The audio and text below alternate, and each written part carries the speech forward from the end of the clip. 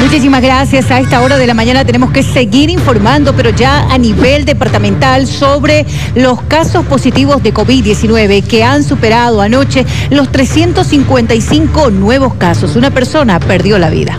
Para hoy se han procesado 3.090 pruebas, con un 12% de positividad.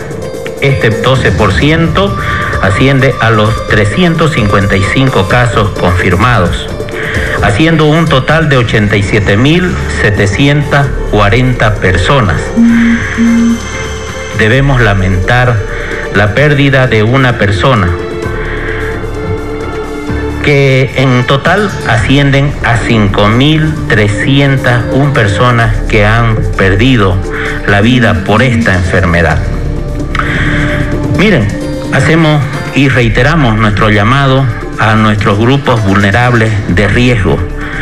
Para hoy, de estas 355 personas, 57 personas son mayores de 60 años, haciendo un 16%, y menores de 15 años, 18, un 5%.